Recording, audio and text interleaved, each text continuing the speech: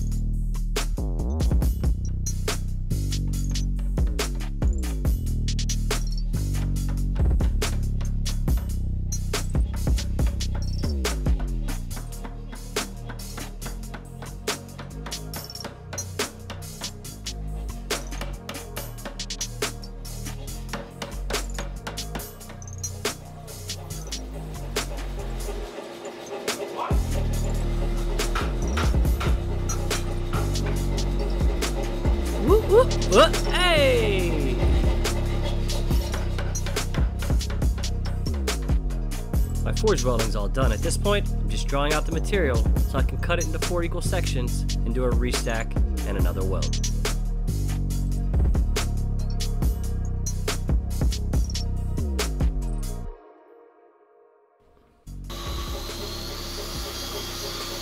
Now, I'm not the only one who's working on my Blade Show project today. Ilya is as well. Only difference is, he's been already working on his for about two weeks. And if you follow him on Instagram at Slavic Smith, you've seen this beautiful teaser pic of the main central billet that he's working on. All he has to do now is cut them up into little pieces and prep them for welding.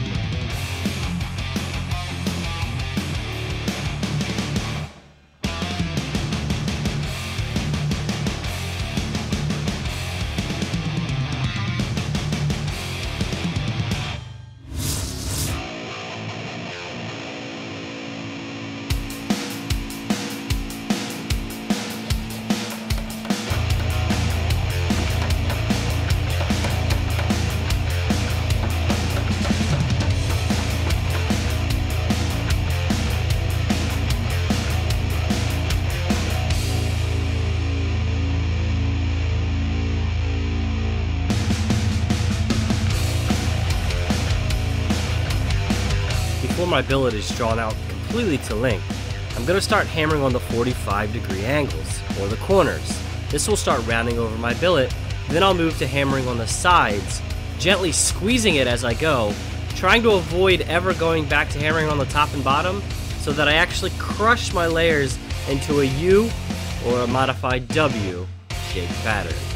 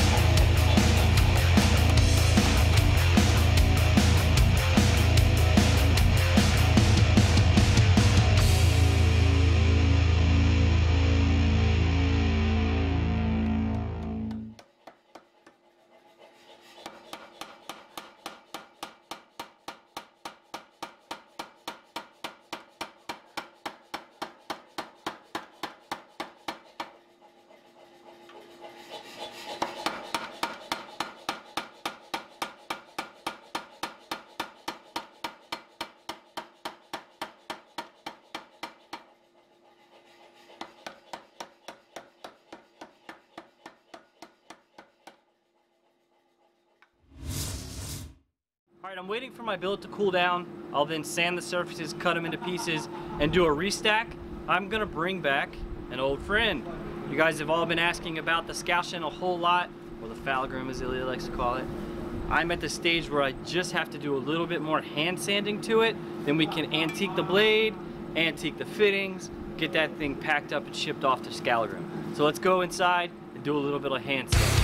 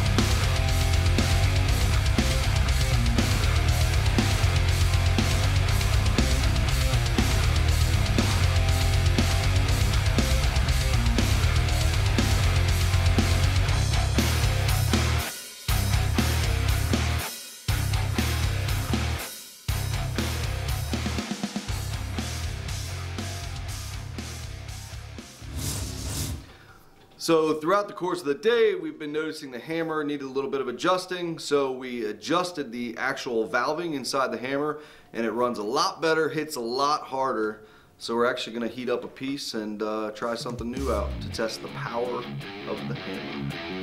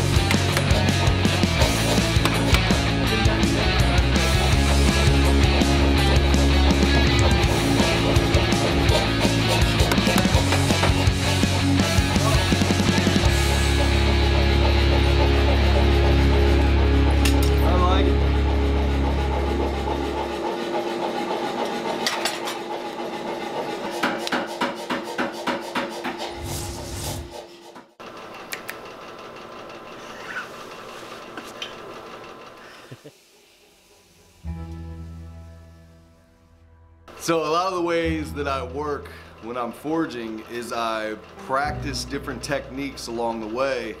Whether I'm building a freeform sculpture or an actual utilitarian piece, I'll practice different techniques as far as hot cutting, scroll work, riveting, uh, some chisel work, and I kind of just incorporate all those different techniques into the piece that I'm working on and I let the steel kind of flow and do its own thing as I'm forging it.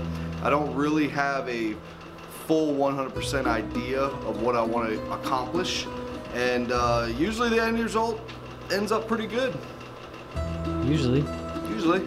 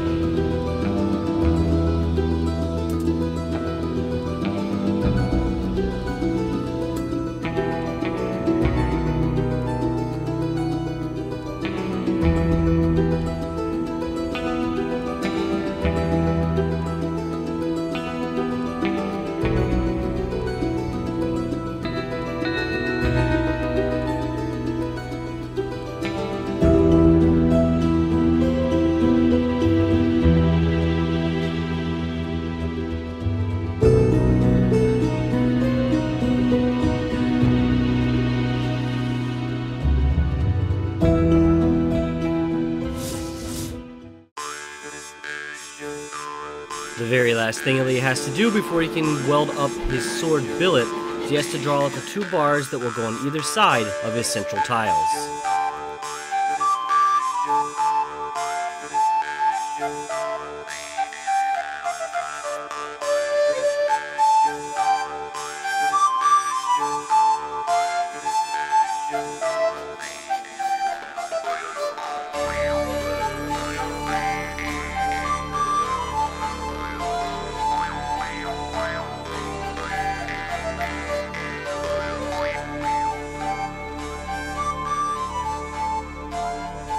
After weeks of work, it's now time for one of the most exciting moments as a smith, and that's getting to see your final billet that will become your sword blade start coming together. Ilya will start by putting small tack welds in each one of his tiles to make sure that they don't move around. He'll then be able to flip the whole thing and do final welds on the other side.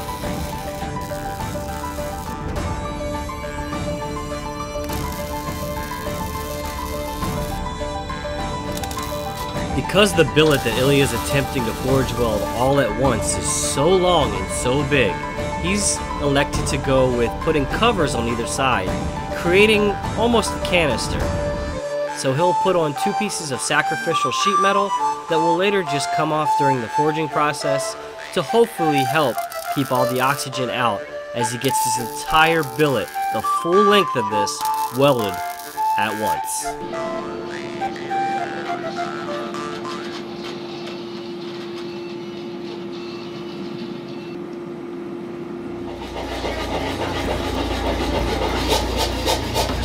One missed blow, one moment of not paying attention, and weeks of work can be thrown out the door.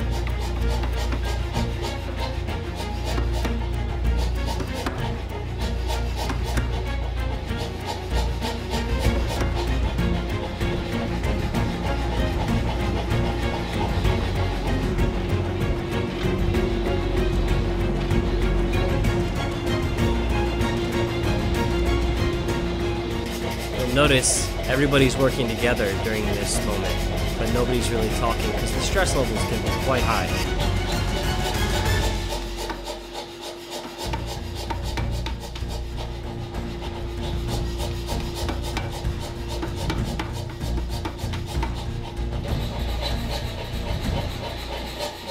Eh, no biggie, it worked. The little piece that you see hanging there is just the sacrificial sheet metal that he tacked on the surfaces. Welds look great. Now it's time to true everything up. Get them nice and parallel because this actually isn't the final stage of his sword. The final thing that he has to do is put another billet as an edge wrap that goes around the entire core that he just welded.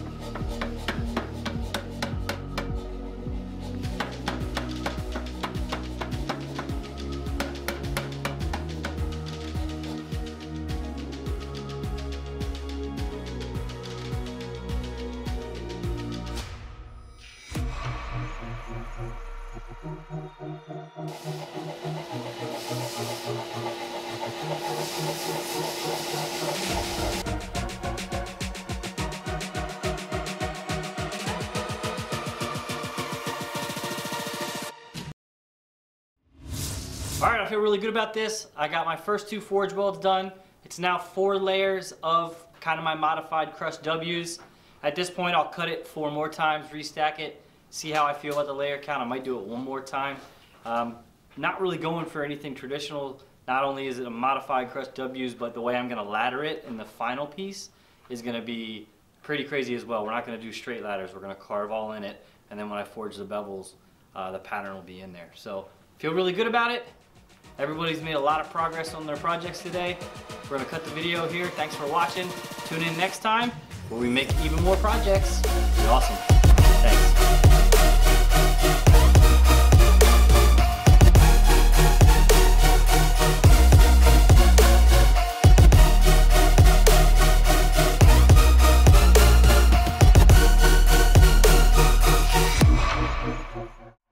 love how we thought the same thing at the same